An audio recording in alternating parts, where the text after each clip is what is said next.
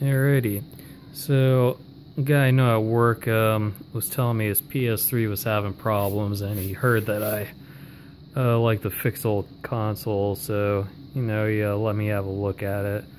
But he basically told me that it didn't play games, so I was figuring the laser was just dirty or something. But I quickly found out.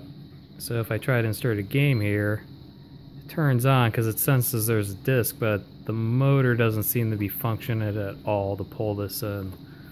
So I have taken this apart and I actually um, just manually like put the CD in and put the uh, uh, the magnet back on it and set it in place and it wasn't spinning or anything. So yeah, looks like there's something wrong with the motor so I'm gonna take it apart again and take a closer look and see if I can figure anything out here. So here's where we're at right now. I took this apart. I uh, got an idea of how the gearing and stuff works and pulls the disc in and pushes it out.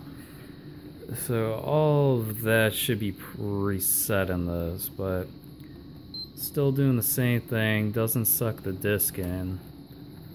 Initially, I hear a clicking noise when I try to put a disc in. See if you can hear that on camera here.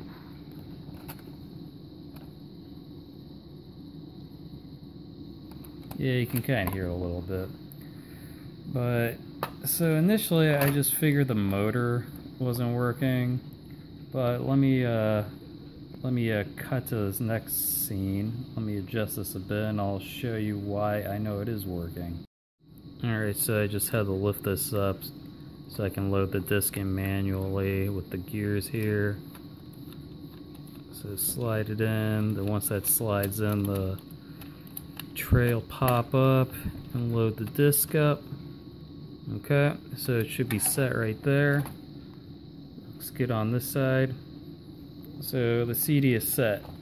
Normally, this should just play, the CD should just play once you turn the PlayStation on. So it's going to power down here. Okay.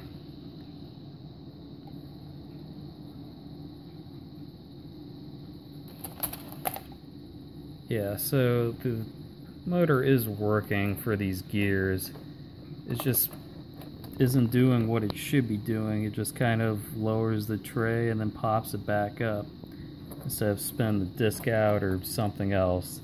I haven't actually seen this uh, drive spin the disc or try to read it at all yet. So my guess is that it has something to do with a problem on the logic board or maybe the um, the sensor here. Maybe there's something wrong with these. There's a short somewhere I'm guessing.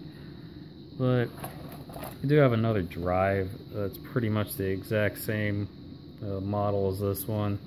So I think I'm going to take this apart and just swap out some parts and try to narrow the problem down more.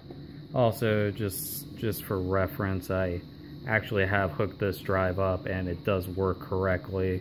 So I know the problem is limited to the drive. So I'm just going to mess around a little bit more and see what I can figure out. Alright, so I was in the middle of taking these apart to start switching out some components and I did notice something very um, interesting. So this is the drive that works. Notice how easily this will slide back and forth here. This is the one that's not working. Yeah, uh, a little tougher. Just a little. A lot. This is horrible. So, I noticed this when I was messing around with it at first. I thought that just might how they are, maybe. Um, but it's obviously not the case. So, um, I would gander, this has something to do with it. And I'm not exactly sure if that's something I would be able to fix or not. Not exactly sure what's causing that. So, yeah. I don't know. This drive might just be up shit creek. Take it apart a little more and take a look. See if I can get that smoother there. Alright.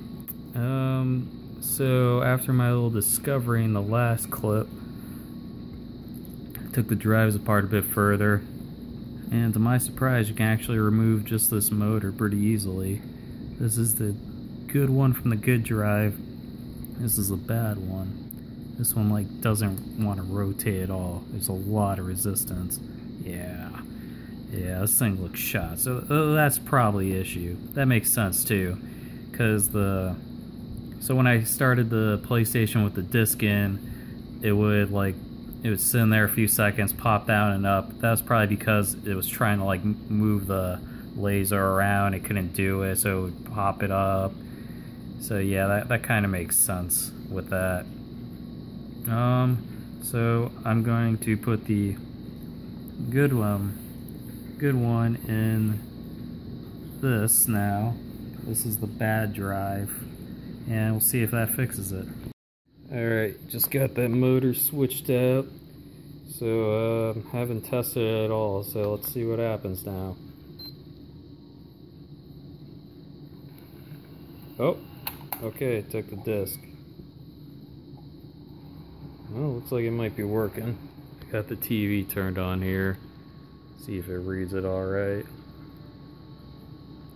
Uh, looking at the CD, it doesn't look like um, it's having any trouble reading it or anything. Uh, crap. Let me grab a controller. Got one right here.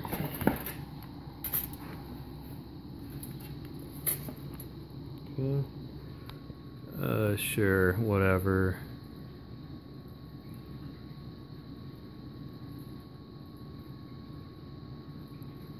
yeah, whatever. So I'll make sure I can read the disc now.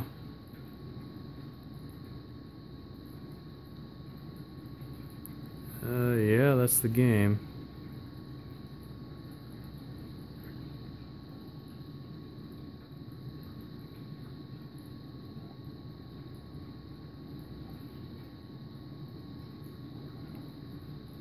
Yeah, I can hear it reading it there.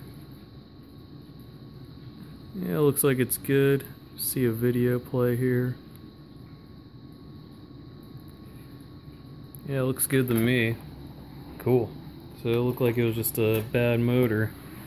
So I guess to finish off the video, here's all the working dry stuff. And here's the bad motor.